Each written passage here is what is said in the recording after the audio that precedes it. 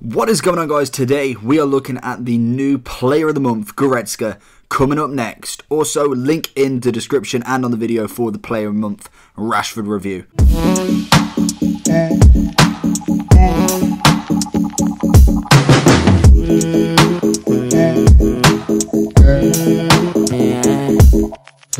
So today we are looking at the Player of the Month, Goretzka. It is not Reus this month, but it is Goretzka, another Bayern player. Um, actually, I don't think there has been a Bayern player. Been it's Reus and Sancho both for BVB. So the first Bayern player, in fact, it is going to cost you. Looking at the SBC at this moment in time, it's brand new. So 500k on the Xbox and then 490 on the PlayStation, and you get one rare gold pack, one premium uh, jumbo premium gold pack, a rare rare players pack, and a rare mega pack. So that's around about 55, 100. Uh, 125, around about 130, 150k worth of packs back. So to be honest, you're looking at still a very hefty price, especially right at this moment in time, seeing as though he's only just come out. Player of the Month's come out randomly, in my opinion. But uh, yeah, you're going to look at pretty much a very, very high value for an 87 rated version of this Goretzka. But the the start of this card is incredible. He's gone from an 83 rated gold player at the very start of FIFA. He was going for around about 100k.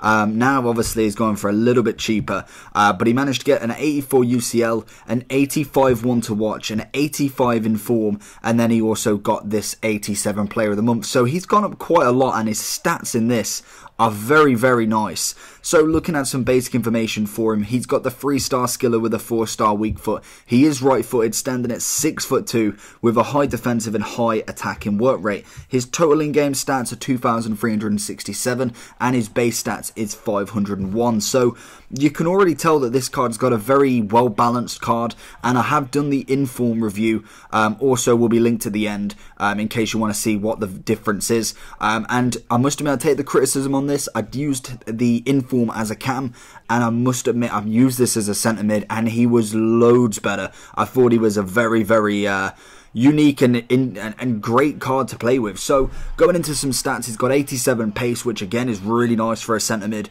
88 acceleration with 87 sprint speed.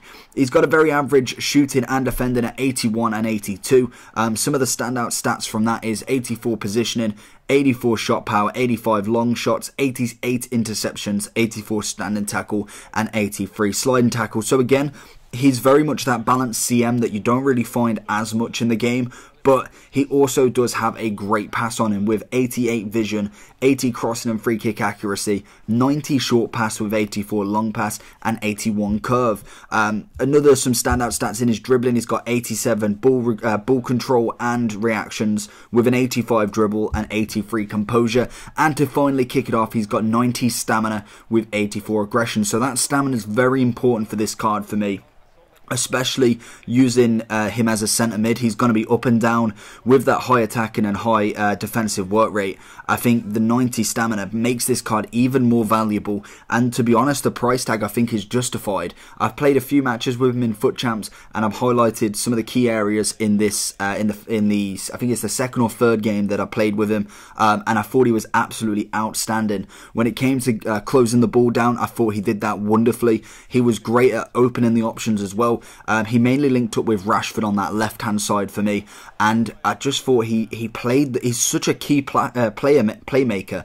I um, used him instead of I kind of like linked him in instead of having the Kanté there, um, and I can't remember who I changed at the left and centre back, but.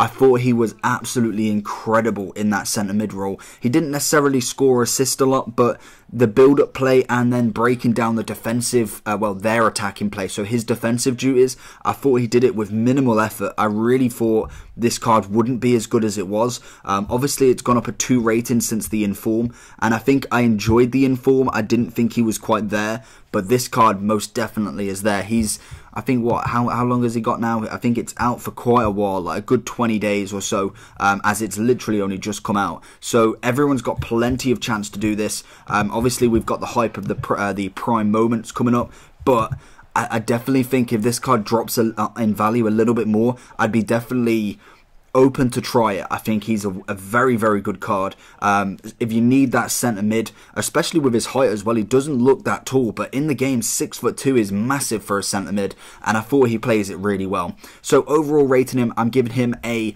8.8. I thought he was fantastic. Hands down, a really good centre mid, um, and he linked up with Pogba very, very well in that midfield. So enjoyed the card incredibly.